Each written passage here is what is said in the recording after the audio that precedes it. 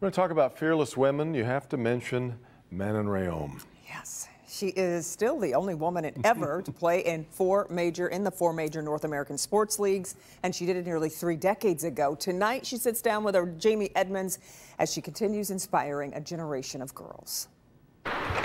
As has been the case her entire life, Manon Rhéaume is most comfortable in a pair of skates. Rhéaume's father was a hockey coach in their hometown in Quebec. One day, they were short a goalie. The first time I went on the ice, my dad wanted to make sure that people would not judge me because I was a girl. So he put a helmet on me before I went to the rink. She was fantastic between the pipes. But keeping her gender a secret didn't last long, and to play hockey, even in Canada, was a tall task for a girl back then. Every year, uh, I was going and trying out for the higher level. And uh, it's funny, my dad never told me that, but most of the coaches were telling him, we're not going to take a girl at that level, don't bring her here. But it only took one coach to see her talent and give her a chance. That led to more opportunities, rising in the ranks from bantam to midget to major junior.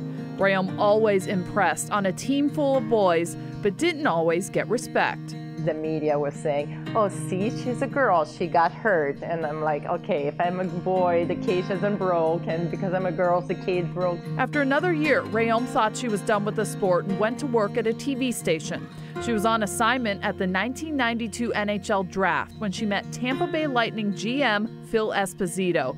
He had seen her play on tape. He realized I was a female, and then he started talking to me and he said, Would you like to come to the training camp? And at first I thought he was joking. Esposito would later say it was a publicity stunt to garner more attention for the expansion team.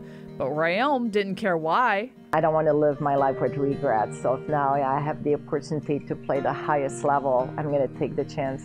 Everyone assumed she would last a day, but she was so good, Esposito one upped himself and had her start an exhibition game. So on September 23, 1992, against the St. Louis Blues, she will start the second period. The then 20 year old played the first period of an NHL game. She stops the first shot, the rebound cleared. Stopped seven of nine shots, got out of the period with a 2 2 tie. Rhéaume would later sign a minor league pro contract and play with men for six years. Pass back and forth. Fast forward to today. Rhéaume is still the only woman to ever play in one of the four major professional leagues. First person cross the blue line, the other person go hard to the net. She's now the director of the girls program for Little Caesars Hockey Club. She's really fun to have because she was the first woman to play in the NHL. I definitely think she's inspiring everybody else.